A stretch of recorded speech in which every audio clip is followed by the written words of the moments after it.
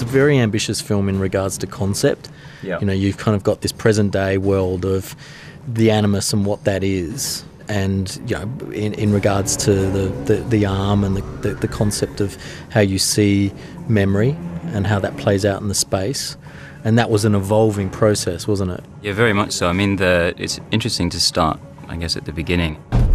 One of the challenging things about visual effects is that they are a very time consuming process to get something that actually is an interesting and engaging image. Hmm. A lot of the time, what we look at early and what we're able to generate quickly just doesn't look very good.